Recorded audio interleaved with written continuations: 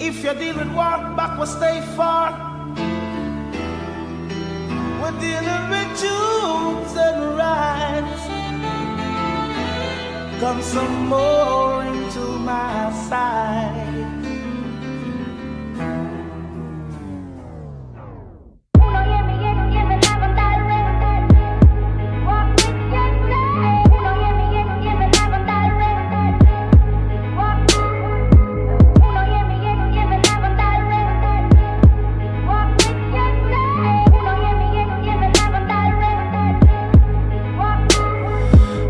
Wallet in my pocket. 지갑 속 지폐들과 카드들의 색은 다양각색.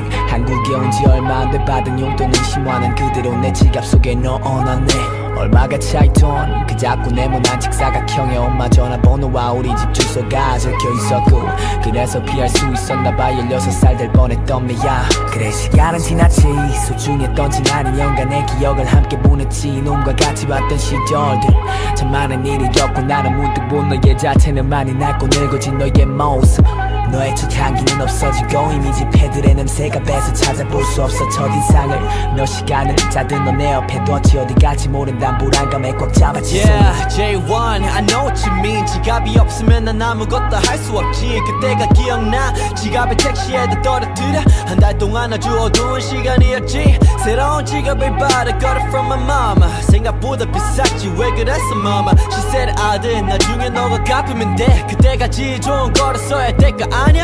She's right, I gotta pay it all back. 그때까지 내 지갑을 소중하게 protect. 내가 늘 써야 하고 중요한 것들도 꼼꼼하게 채워놔 보기 좋게 Yeah, two credit cards 현금은 내 카드 안에 16살에 딴 운전면허증도 있네 원래 got extra protection for just in case 연락처럼 명함들이 가득 차있네.